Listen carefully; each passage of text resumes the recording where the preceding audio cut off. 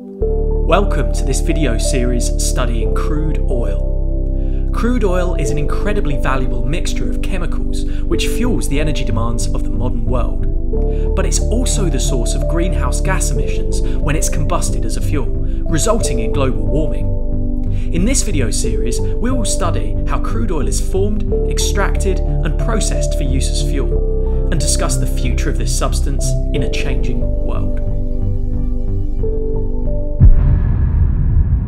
Our journey begins with the formation of crude oil, an ancient biomass, mainly plankton. When this plankton dies, it falls to the sea floor and becomes buried in mud. Over millions of years, it changes into crude oil. Millions of years later, humans use advanced extraction techniques, such as this oil rig shown here, to extract the crude oil from rocks. Vast oil tankers then come to collect this oil and take it to land.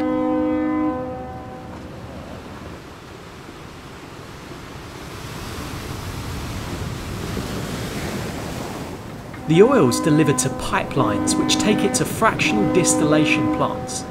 The role of a fractional distillation plant is to separate the crude oil into all of the useful fuels that it contains, so they can be used by different types of engine and power plant.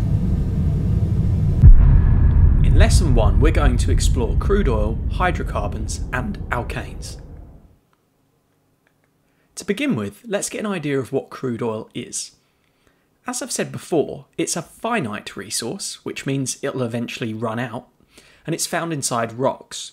And it's the remains of ancient biomass, that means the matter or the bodies of living things, which consisted mainly of plankton that became buried in mud.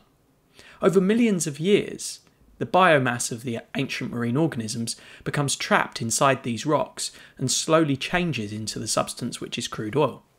However, crude oil has a definition. The definition of crude oil is that it's a mixture of compounds called hydrocarbons.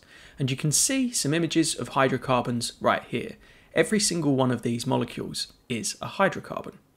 Let's now explore what a hydrocarbon is.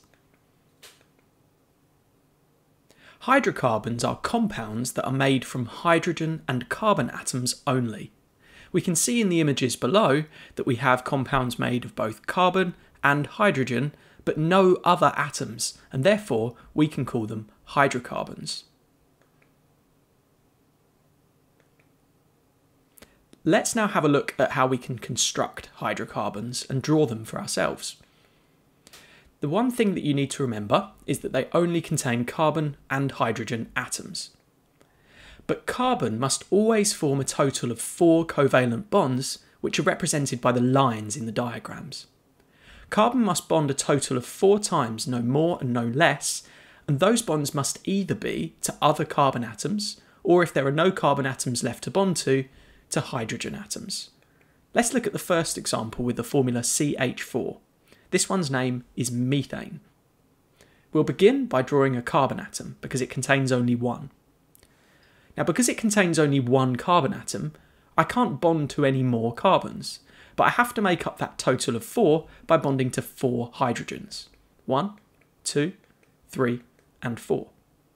We've now satisfied the rules for the bonding in carbon, and as I said, this line here, each one of those is what we call a single covalent bond. Let's now have a look at a hydrocarbon with the formula C2H6. This has the name ethane. We have two carbons, so we need to draw those. And to begin with, we're going to bond our carbons in a line.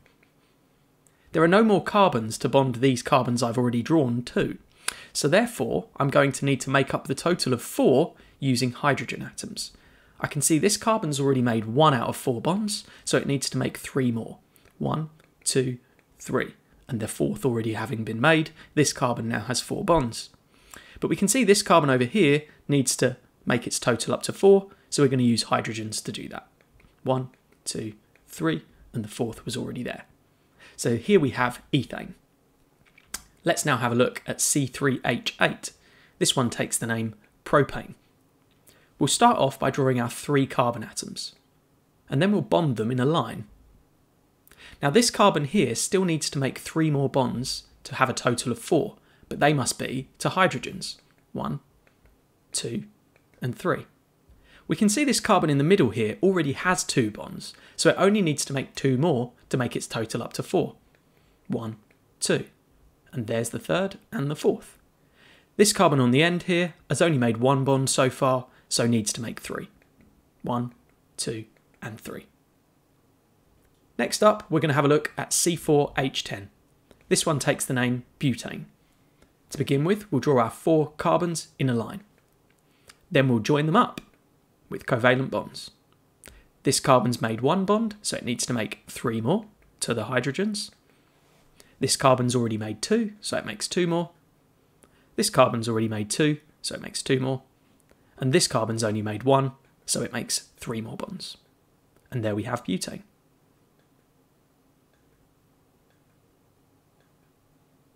Let's now consider what each of the hydrocarbons that we've just drawn have in common.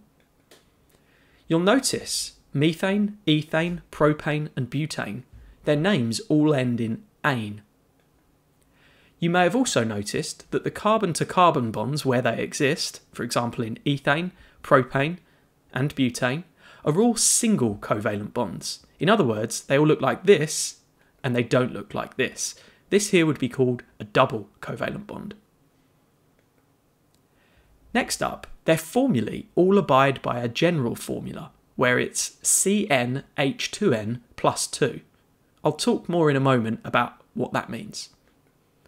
But these two features, the fact that their carbon to carbon bonds are all single covalent bonds, and their formulae all abide by CnH2n plus 2's general formula, makes them a class of hydrocarbon, a subcategory if you will, called alkanes and that's why their names all end in ane. So these are the two features of alkanes.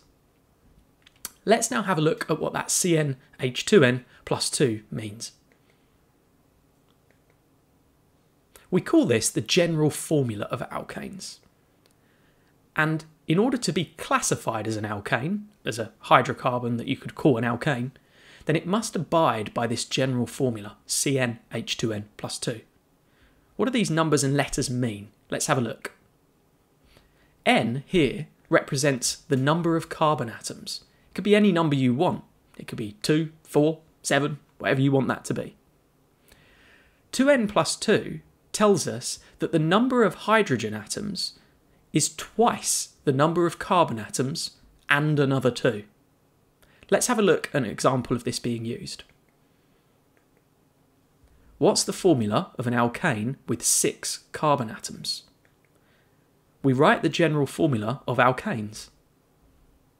Then we decide that N is 6, therefore H is 2 times 6 plus 2. As we see here, make sure you multiply before you add the 2, and therefore the formula of this particular alkane is C6H14.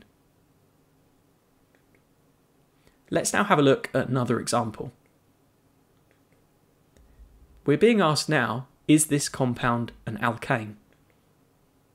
The first thing you needed to remember about alkanes is that all of the carbon to carbon bonds must be single bonds. In other words, there must be one line between each of the carbon atoms. This satisfies that criteria, so it could be an alkane. But it also needs to satisfy the CnH2n plus 2 general formula. Its formula is C5H12 when we count all of the carbons and all of the hydrogen atoms around it. And we can see that 12 is 2 times 5 plus another 2, so therefore, yes, it does abide by the general formula CnH2n plus 2, and therefore this is an alkane because it satisfies both the single covalent bonds between carbon atoms criteria and the general formula of CnH2n plus 2 criteria. Let's now have a look at how the naming system for alkanes works.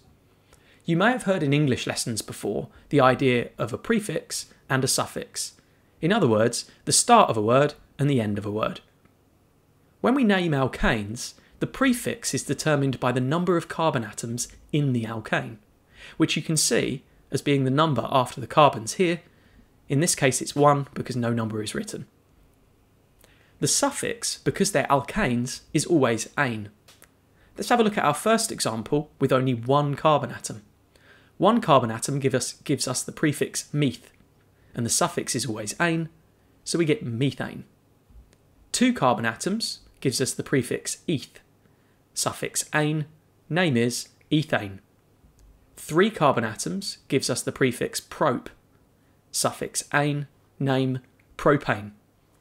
Four carbon atoms gives us the prefix bute, suffix ane, name butane. Five carbon atoms, pent, ane, pentane. Six carbon atoms, hex, ane, hexane. Seven carbon atoms, hept, ane, heptane. Eight carbon atoms, oct, ane, octane.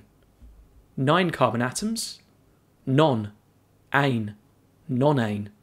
And ten carbon atoms, dec, ane, decane. You can see that after five, it becomes quite logical because it's basically like the shapes that you learn in maths. However, the first four are a little bit different to what you've probably remembered. The first five you need to learn and remember their names and their formula.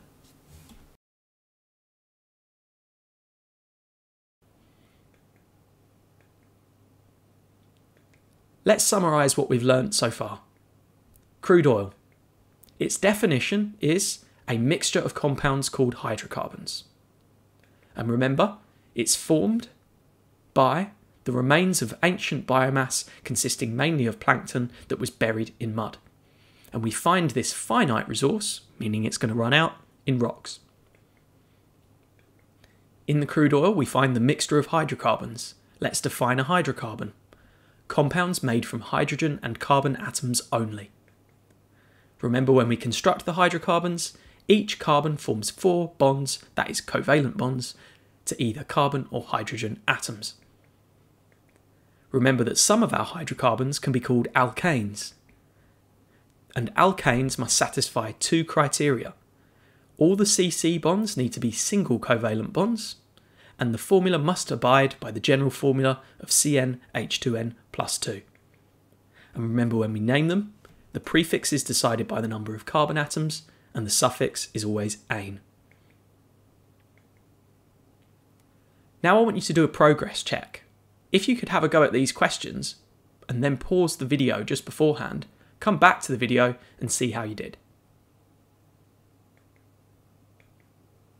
Let's now have a look at the answers. In the first question, we're asked to complete the sentence, and this is a description of crude oil, but it's not its definition. Remember that crude oil is a finite resource, meaning it's going to run out, and it's found in rocks.